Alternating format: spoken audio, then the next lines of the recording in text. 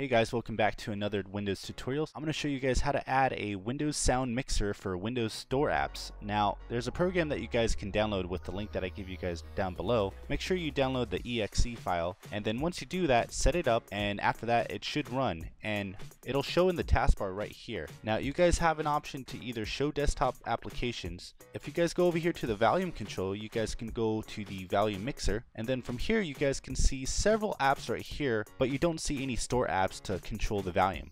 Now with EarTrumpet right here, you can click on it and you can see that Groove Music is available to either lower the volume or raise the volume.